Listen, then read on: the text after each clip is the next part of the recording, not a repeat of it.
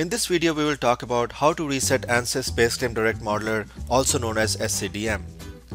We might need to reset SCDM in instances where it's not behaving as expected or if you see unexplained freezes or crashes. These are extremely rare but can occur due to some changes in the settings. The goal behind resetting Spaceclaim is to bring it back to its original configuration when it was freshly installed without having to reinstall the whole package.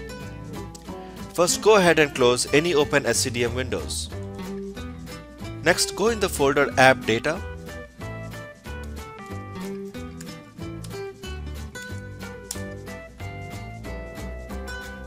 and rename the folder spaceclaim to spaceclaim.old.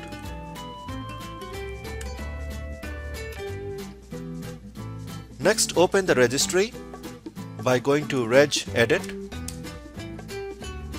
and browse to the folder HKey current user, software, spaceclaim and license reset. Now reset this license reset key. That's it. Now spaceclaim should behave just like a new installation. If you're still having issues, please don't hesitate to contact ANSYS customer support.